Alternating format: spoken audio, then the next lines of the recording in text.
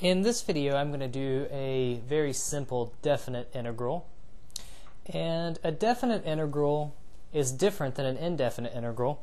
First off notice we have these numbers in the top and bottom of our integral sign. These numbers are aptly named. The bottom one is called the lower limit of integration. Lower limit of integration.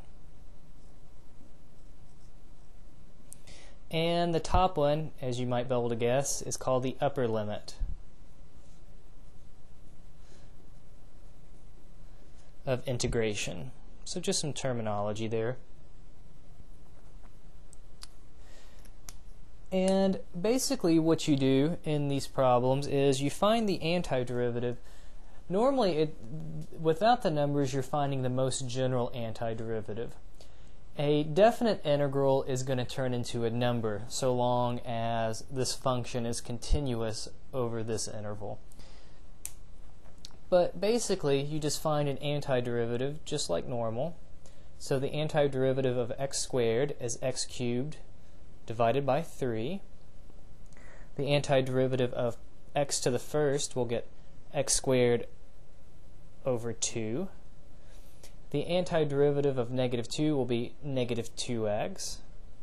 And in these problems, we'll leave off the plus c, and we'll talk about why in just a second. Now we make a little bar over here.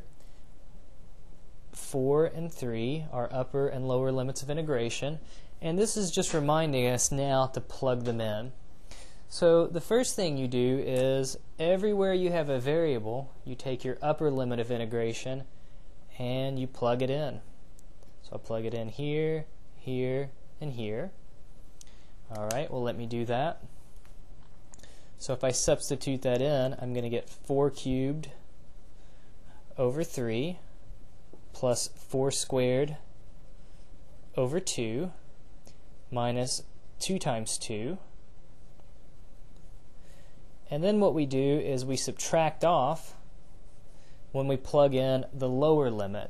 And just like we plugged the upper limit in, we're going to plug the lower limit in everywhere as well. It's a good idea to use parentheses because you're going to have to distribute the negative to every term if you don't simplify first. So I'll get 3 cubed divided by 3, so now I'm plugging 3's in, plus 3 squared divided by 2, minus 2 times 3. And I realize I just made a mistake here.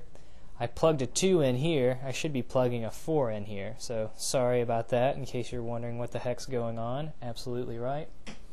So I've got 4 cubed, 4 squared, 2 times 4, and then I'm going to subtract off plugging a 3 in everywhere.